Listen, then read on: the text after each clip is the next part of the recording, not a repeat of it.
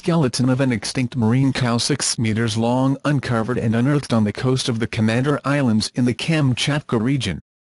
At first, the headless remains of the beast looked like a fence, but local officials, in a survey of the nature reserve, soon realized that they had made a remarkable find, the ribs of this ancient creature.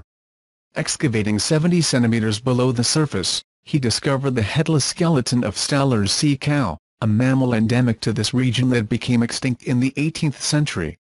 As the images show, they found 45 vertebrae, 27 ribs, a left scapula and other bones. Arctic explorers recorded sightings of sea cows before they became extinct. The species is named after the German explorer Georg Steller, who documented its existence for the first time during the voyage in 1741. The animals were easy prey for hunters who used harpoons, without fear of humans.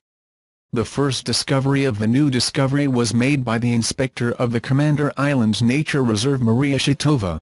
After she discovered the protruding ribs, an eight-hour excavation was organized to recover the remains. The islands are located in the Bering Sea between Russia and Alaska,